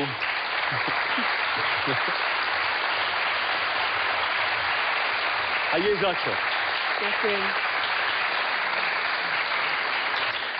My v našom putovaní po Afrike budeme v tejto chvíli pokračovať, ale viete, musím vám povedať jednu vec. Teraz zažijete veci, z ktorých ja, ja, som, mal, ja, ja som mal 5 dní, veď to teda Vlado môže potvrdiť, ja som mal 5 dní ústa otvorené a neveril som vlastným ušiam a očiam. My teraz navštívime mesto, ktoré malo pred desiatimi rokmi uh, jeden z najvyšších výskytov ľudí nakazených HIV na Zemeguli. Eldoret. Je to piaté najväčšie mesto v Kenii a bolo tam skoro 30% ľudí nakazených HIV. Jedna tretina obyvateľstva nakazených HIV pred desiatimi rokmi. Ako sa to pohlo i vďaka zariadeniam Alžbety, to uvidíte teraz. Navštívili sme nemocnicu, kde mrú deti na maláriu ako muchy. Prepačte mi ten výraz, ale pochopíte, keď sa budete ďalej pozerať. E, navštívili sme slamy, tie chudobné štvrte, kde 10-ročné deti majú 10 kilogramov. Pozerajte ďalej druhú časť putovania Modrého z neba po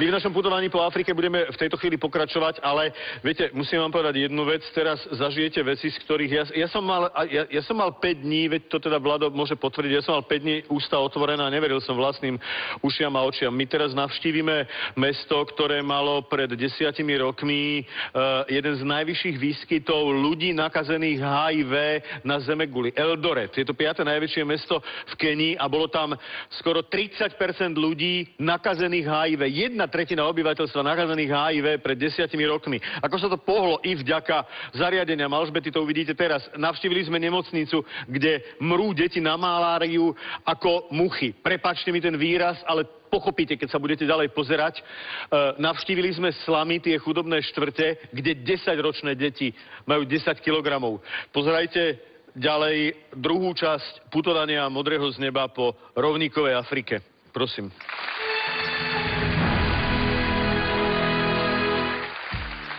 Vítajte opäť v rovníkovej Afrike. Cesta do Eldoretu trvá 9 hodín a človek vidí všetky krásy tunajšej prírody. Ja som neváhal a ako správny cestovateľ šíril som osvetu medzi domorodým obyvateľstvom. Yeah? Slovakia? Yeah, Slovakia. Slovakia. Yeah, okay. Yes. And this is City my- Bratislava. City Bratislava. Bratislava. Bratislava. Bratislava. Okay, okay, okay. Ale naspäť k Afrike.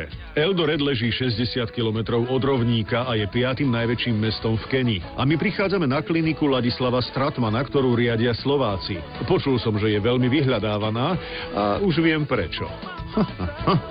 Bože môj, to takéto krásne, nežné stvorenie vy máte na rovníku ako... Preto ja to nemôžem robiť, lebo by som bol v permanentnom pokušení.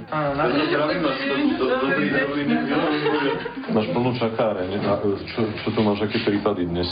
Tyfus, malária, HIV, ešte všetko, lebo ja tu pôsobím vlastne ako obvodná lekárka. Prichádzajú tí ľudia sem s nádejou, že ako slovenská nemocnica pomôže nám, alebo... A, áno, áno, väčšinou sme akože známi v okolí, že tá nemocnica, kde sú beloši. Tu vraj pred pár rokmi bola v tomto meste možno jedna z, naj, z najvyšších koncentrácií ľudí e, nakazených HIV, že to bolo vlastne takmer tretina obyvateľstva, že sa to podarilo znížiť. Výskyt je ešte stále vysoký.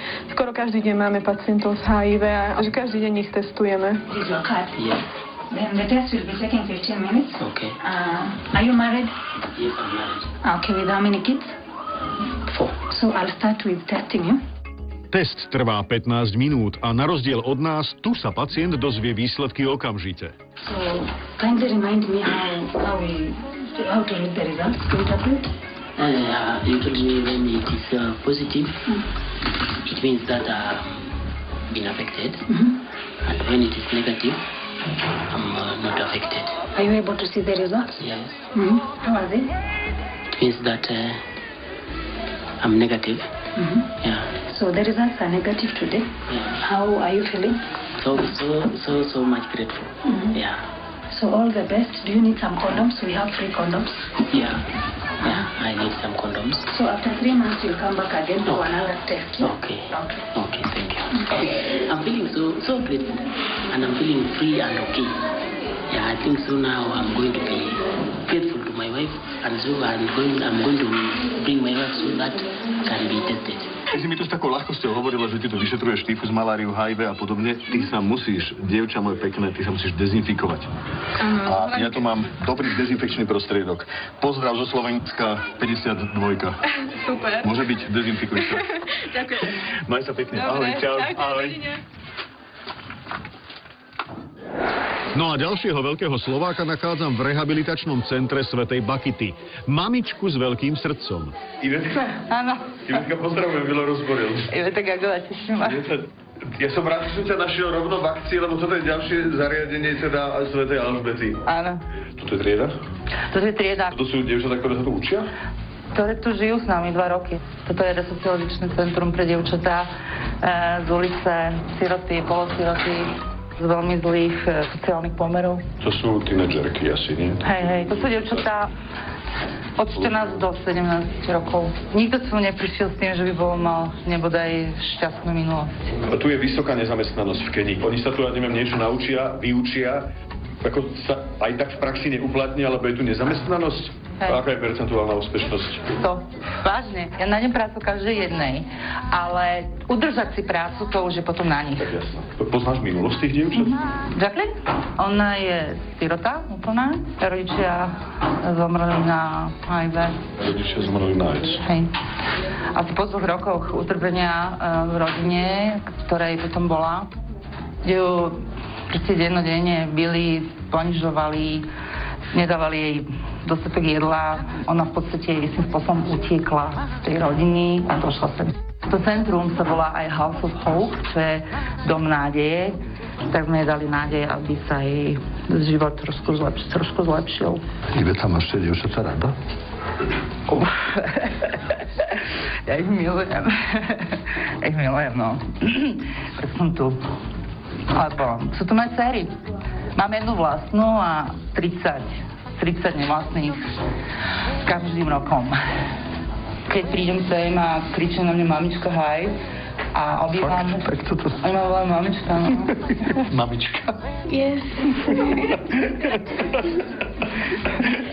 Vidieť na tebe nesmierne, nesmierne zanietenie. Ja som tu preto, lebo, lebo som to cítila zo srdca, keď som bola prvýkrát v Kenii a som to cítila, že sa sem chcem raz vrátiť a chcem tu pracovať a chcem tu byť. Vyše troch rokov. Chceš tu zostať? Chceš tu... Je to, je to... Nemám limit, nemám. Jedine... Ešte úžasné, že príde človek na rovník a zistí, že môže byť hrdý na Slovákov.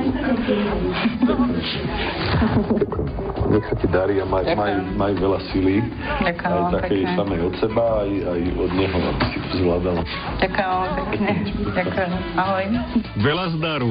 Veľká slovenská mamička. Z Eldoretu do, do toho tanzanijského mesta, kam ideme, je približne 350 kilometrov a ideme aj takýmito cestami. Ja už som taký pomerne vytrasený. Nuž, ale cesty Božie sú nevyspytateľné. V tomto prípade skôr necesty ľudské.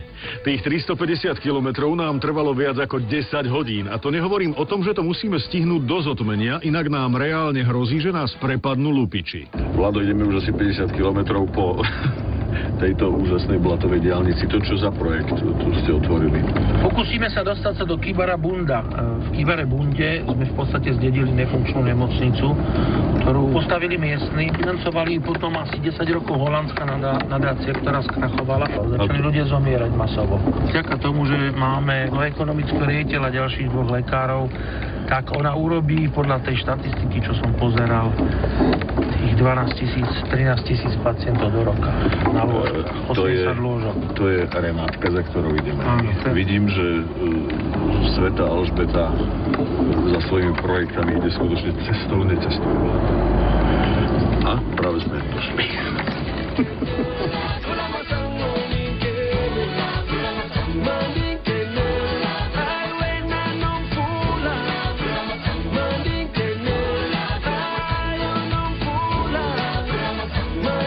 Renáta?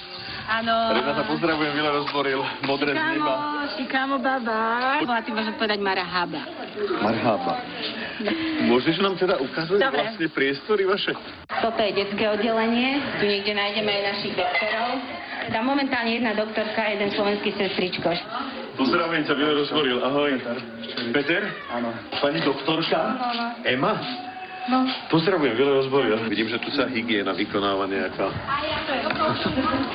Si spojený ako veterinárna klinika, alebo e, to je, pri, prišiel s rodinným príslušníkom aj Hafan? Ja som tiež nechápala, ale oni to tak berú ako muchy. To, že proste tu je a... Oni behali sliepky po vordoch medzi pacientami. Sliepky? Áno. Sliepky Pacient po behali? operácie alebo po, žena po porode a jej pod postelo behali sliepky. To bolo normálne. Chýri o tebe to už mi vlastne Vlado v Bratislave rozprával, že musíme navštíviť Renatu, lebo ona postavila na nohy niečo, o čom som bol presvedčený, že sa na nohy už takmer postaviť nedá. Vysvetlí mi, že prečo to bohatým, úžasným, skvelým kapitalistickým Holandianom krachlo a Slovákom, chudobným, úbohým, tam spod Tatier sa to ako darí. Vieš, bol by si prekvapený, akí úžasní Slováci dokážu byť. Američania možno donesú peniaze, ale nedonesú so sebou to porozumenie a to srdce. Kdežto Slováci donesú možno menej peňazí, ale tak nejak viacej sa snažia. Čo je týmto deťom? Oni väčšinou maláriu tu mávajú. Keď teda rodič takto uzná za vhodné a chce byť s malinkým svojím, tak proste... Oni, všetci rodičia sú tu s deckami. A máme tu jeden taký ťažký prípad, čo sme vlastne včera celý deň bojovali, aby to nejak prežil a zatiaľ vyzerá, že, že by to aj mohol. No. A chininová liečba mu nezaberala, tak sme museli dať artemeter potom. Vlastne kvôli tomuto malému ste mali bezcennú noc teraz, hej? A ešte kvôli jednému, no. Tento bohužiaľ neprežil. No vlastne teraz posledný týždeň to máme ťažké, no. No, pretože je obdobie dažďov a tí ľudia, každý chce robiť na poli, každý chce mať rýchlu úrodu, takže oni odkladajú vždy ten odchod k lekárovi kvôli tomu, aby mohli čím viacej pracovať na poli. To znamená, že keď prídu s dieťaťom, tak to dieťa je veľmi zlé. To mi pripomína ako Slovensko 18. 19. storočia. Proste No, urobiť najskôr na poli, aj keď sme chorí. To je strašne veľa problémov v Afrike. Čo to je malária? Tu má malária, teraz má krče, tak treba dať diazepam, to je Ona sa- cerebrálna, takže už má e, chytenú miechu a mozog a vlastne začínajú tie impulzy, tie krče.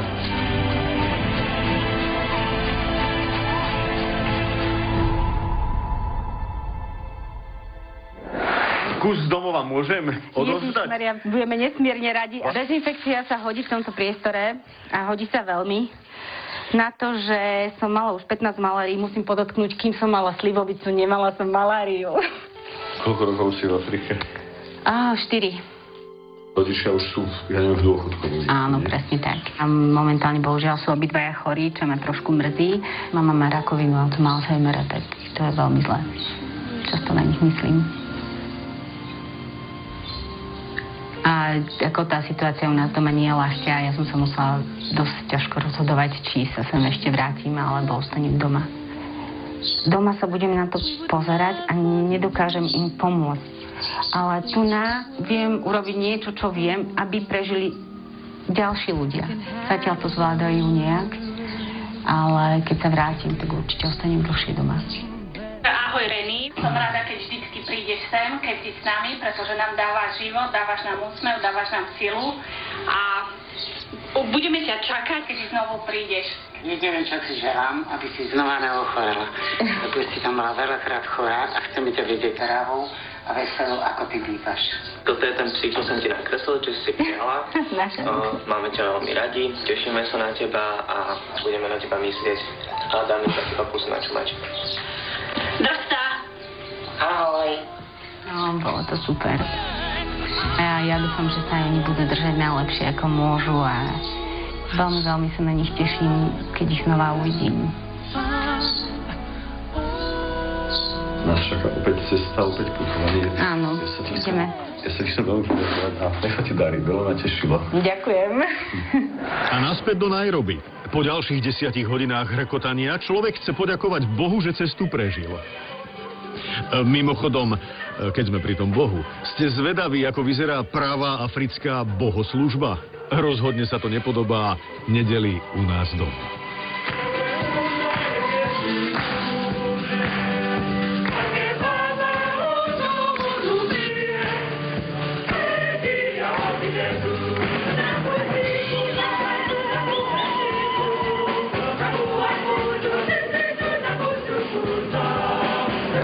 Mario, ty máš koľko rokov, prosím ťa? 33. Odkiaľ si? Z Veselého pri Piešťanoch. Ty si v Kenii a v Nairobi, e, ako dlho už? Štvrtý rok, 3,5 roka. Tvoja úloha je logista, to znamená koordinátor vlastne všetkých tých projektov. Fú, už len samotnou Nairobi máme 10 projektov, čiže a to je zabezpečovanie či už do malnutričných centier mlieko, alebo do detských domov chleba, meso, transport ľudí do okolitých štátov, do Sudánu, do Ugandy, do Burundi, do Tanzánie, čiže tak veľmi všestranné. Že tu žije 6 miliónov obyvateľov a čo som počul, tak asi 2 milióny v tých slamoch, v tých chatrčiach. Ako sa volá ten program no, nosenia stravy do príbytkov priamo do, do tých slamov? Malnutričné centra. Zažívať toto chodenie po tých rodinách, to je kultúrny, sociálny a bezpečnostný šok. Tam sa ani miestne necíti bezpečne, to ešte ja. A ak ideme do slamov, tak vždycky s nami ide nejaký náš zamestnanec, ktorého už tá komunita pozná. Prípadne si ešte zoberieme na pomoc aj niekoho, kto ešte nás, povedzme, chráni zo zadu.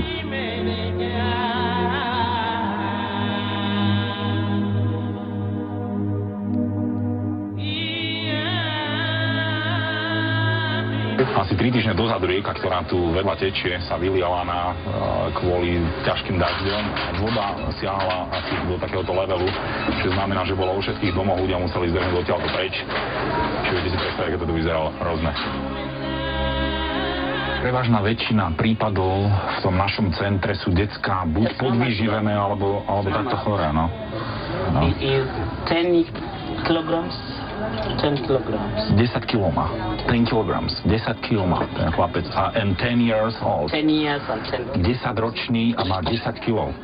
Človek vidí to utrpenie, a, ale už ten pocit, že, že tomu človeku ja môžem pomôcť, alebo teda prostredníctvom vysokej školy, že my im môžeme to ľuďom pomáhať, už to ako keby kompenzuje potom to všetko.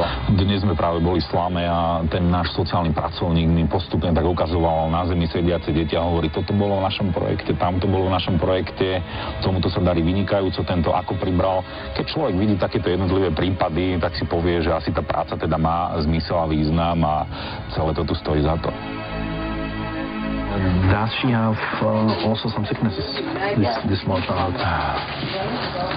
This malnourished. Ah, that's why I see, I see, I see. Don't worry. Komu doma chýbaš?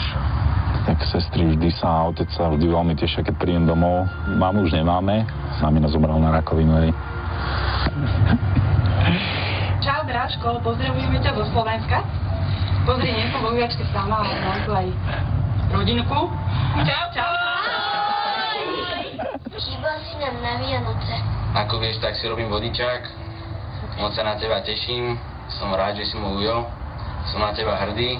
A volá, kedy dojdem do Afriky a pôjdeme na, na Černošky. Braši, ešte ti chceme povedať, že ocino ťa veľmi srdečne pozdravuje. Ďakujem za všetky modlitby, čo si na ňu obetoval. A tešíme sa na teba, keď prídeš po februári. Už aby si bol doma. Nie, ďakujem veľmi pekne. Ja sa cítim ako keby som bol u nich vo bývačke.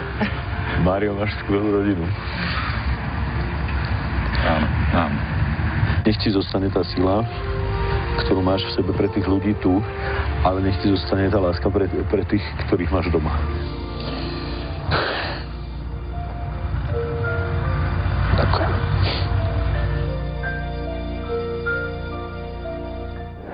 Kruh sa uzatvára, aspoň kruh našej návštevy e, v Keni a v Tanzánii, ale uzatvára sa v niečom, čo sa práve začína. Začína sa totiž písať história tohto zariadenia, ktoré sme pred pár dňami navštívili. E, O malú chvíľu bude Daria otvárať školu pre kenské deti, na ktorej bude získavať vzdelanie ročne približne 200 až 300 detí. Dúfam si povedať, že sme pri historickej udalosti, ktorá o malú chvíľu začne.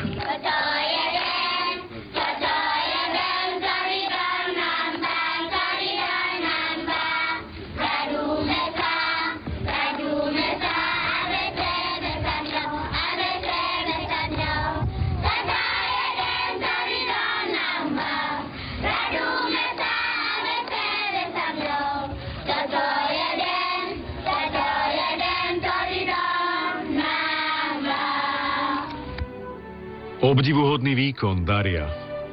Zrealizovať takýto projekt je úžasné. Si veľký človek. A nie len Daria, ale aj Jiřina, Mário, Beatka, Martin, Ivetka, Renáta, Peter Zemov, Miro, Vlado a všetci tí nádherní ľudia tu v Afrike. V nás vzbudzujete pocit, že môžeme byť na naše malé Slovensko hrdí. A to vďaka vám, priatelia. No, a to je všetko. Vlastne mohlo by sa zdať, že to je všetko. To nie je všetko, to je len začiatok. Ten zvyšok, ten už je na nás všetkých. všetkým ľuďom nej. Nech im slnko jasne svieti každý Boží deň. Nech v láske má, nech im pokoj zachová. Daj Boh šťastia tejto zemi všetkým ľuďom nej.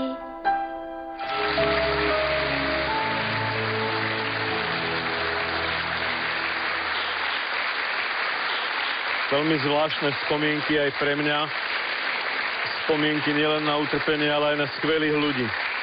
A ja som rád, že tie tisícky kilometrov domov, okrem Dary, meral aj človek, ktorý prichádza teraz do štúdia. Dámy a páni, Mário.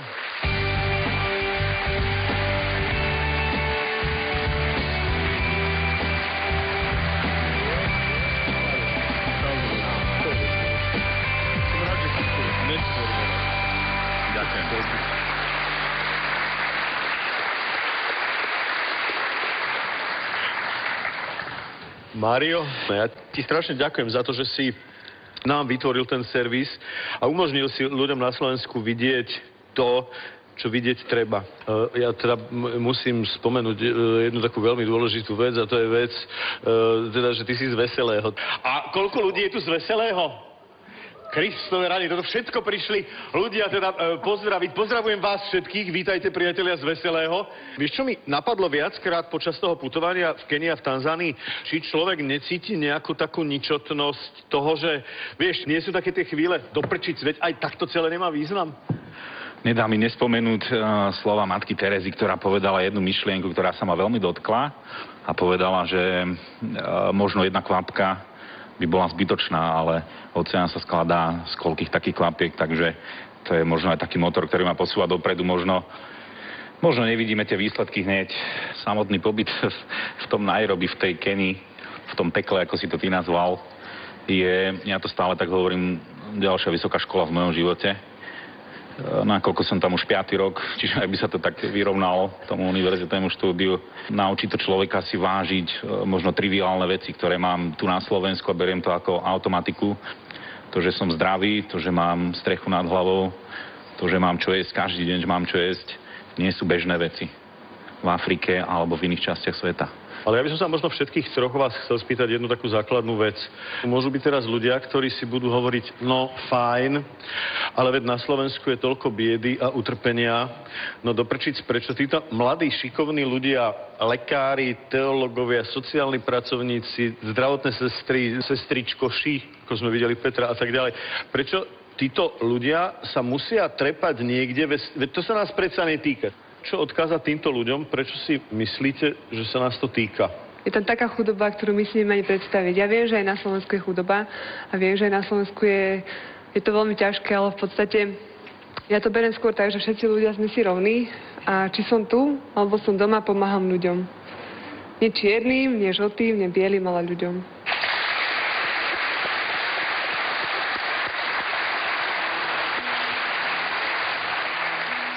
Ja som nesmierne rád. A Vlado, ja ti ďakujem za to pozvanie a za to poznanie. Pretože, vieš, ja som si tam okrem tej biedy, ktorá tam je, ale tej človek, povedzme, počúva z médií a, a veď, veď to, to boli veci, o ktorých sme možno tušili. Ale ja som si tam uvedomil ešte jednu vec. Tu si my na Slovensku pripadáme taký malinký. My si pripadáme, že sme taká, taký, taká tá malinká chudobná krajina v strednej Európe, ktorá nezmôže nič. A zrazu som mal pocit, že vďaka uh, týmto tvojim skvelým ľuďom, a nielen Dari, Máriovi, ale vďaka všetkým, ktorých som tam spoznal, ale ďakujem ti za spoznanie týchto ľudí, že my sme väčšia krajina, než si to sami priznávame. My sme väčší v tom, že dokážeme nechávať srdcia a nasadzovať skutočne vlastné životy za to, aby e, sa tie kvapky dobra raz poskladali, tak ako to Mário povedal, matke Tereze, aby sa raz poskladali možno v oceán. Možno je to utopia. Ten oceán vidieť. Ale mať ho pred očami ako, ako víziu dobra určite za to stojí. Vlado, ja ti nesmierne ďakujem za to poznanie a bolo mi veľkou cťou, že som mohol navštíviť projekty Vysokej školy Sv. Alžbety.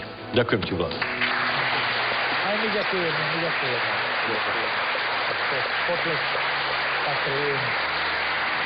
Viete čo?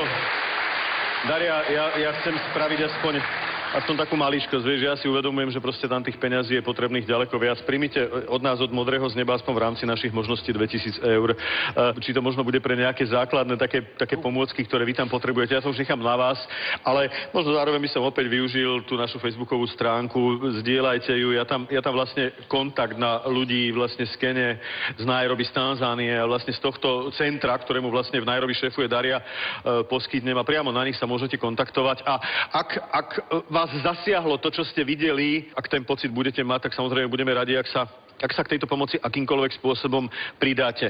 Možno buďte tou kvapkou, o ktorej tá matka Teresa hovorila. Chcete byť tými kvapkami? No tak, tak, tak to využite a pridajte sa k nám. Takže zatiaľ aspoň, neviem do akej miery symbolicky alebo reálne, verím, že sa to možno nazbiera. Ďakujem. Daria, držte sa. Pozdravujem všetkých v Nairobi. Ďakujem. Dostávam. Všetko dobre. Mario, možno ešte. Ďakujem, že si prišiel. Ďakujem. Uh, priatelia, myslím si jednu vec. Uh, silné modré z neba, ktoré vlastne bolo takým spoločným projektom dnes večer modrého z neba, a teda Svetej Alžbety, by malo končiť aj silnou hudbou. Totiž, Vlado, ja si, ty si aj veľký teológ, ja viem, to je Vlado, Vlado, um, to, tie desiatky hodín, čo my sme spolu cestovali, Vlado ma učil držať dietu, keď sa pozriete na neho, je vám jasné, že som to bral dosť s humorom. Uh, na druhej strane, ale jeho teologické výklady, to je veľmi milá záležitosť. A prosím ťa, ja musím eh, poopraviť jednu vec, ktorá je v Biblii. Ja si myslím, že to je fáma, že pán Boh 7 deň odpočíval. Podľa mňa pán Boh 7 deň neodpočíval, on stvoril humor a hudbu. A preto si myslím, že aj takéto modré z neba by malo končiť hudbou, ktorá je prihovorením sa jemu. Hovorím to preto, pretože v tejto chvíli už máme vzadu pripravených skvelých muzikantov. Je to uh, hudobné združenie Fragile, ktoré Slovensko veľmi dobre pozná. Je to spevácky zbor Echo, ktorý je úplne úžasný, a hudobná skupina Funkies, ktorí zaspievajú pieseň, ktorá má taký kombinovaný názov svahilsko-anglický, ak sa nemýlim, Kumbaya My Lord. Buď pochválený, môj pane. Dámy a páni, vypočujte si túto pieseň a my počas nej vylneme vlastne všetky tie adresy, e, pokiaľ by ste e, chceli už v tejto chvíli zareagovať na pomoc, ktorý potrebujú e, ľudia v Afrike prostredníctvom projektov, ktoré ste teraz videli. Dámy a páni, Fragile, Echo, Funkies, Kumbaya, My Lord.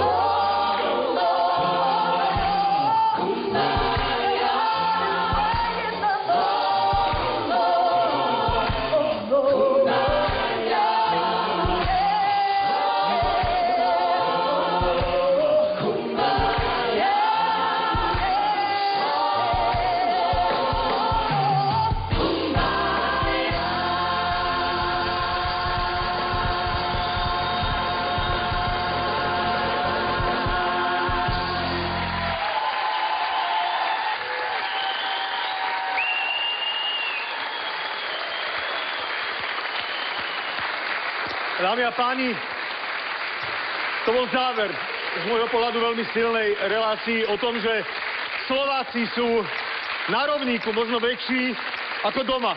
Minimálne ten pocit, ja som z nich mal. Ďakujem v tejto chvíli týmto úžasným ľuďom, ktorí sa vlastne pridali k myšlienke záujmu o niekoho, kto býva tisíce kilometrov od nás. Ďakujem ešte raz Fragile, spevácky zbor Chor, Echo, hudobná skupina Funkies. Ale ďakujem veľmi pekne, pán rektor, vládo, všetko dobré. Ďakujem ti, že som mohol byť stretnom. Bolo mi cťou e, sa stretnúť s tvojimi úžasnými ľuďmi. Mário, ďakujem ti. Všetko dobré. Daria, dneska len tak. Ja sa pre túto chvíľu s vami lúčim, ale vlastne platí to, čo som hovoril. V prípade, že sa chcete pridať e, k veciam, ku ktorým sme vyzývali v súvislosti s Afrikou, tak zdieľajte našu facebookovskú stránku. V prípade, že chcete vysmievať niečo pre svojich najbližších, tak nás kontaktujte na adresy, ktoré už asi teda vidíte na svojich televíznych obrazovkách a vidíme sa v najbližšom e, modrom z neba, to bude v stredu, vlastne, vlastne ono to už bude také veľkonočné, modré z neba. E, verím, že budete prítom, takže dovidenia priatelia v stredu o 2020 na Markíze. Ahoj!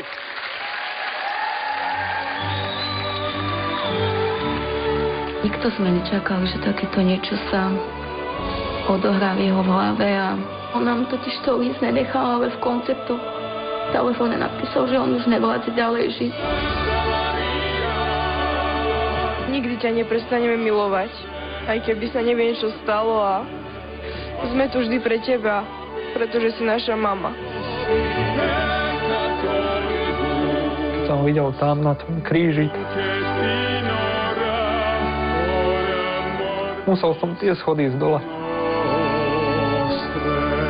Na takom mieste som ešte nebol.